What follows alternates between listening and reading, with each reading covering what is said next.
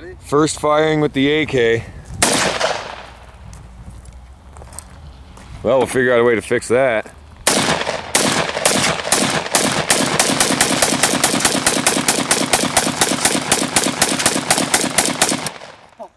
How is it?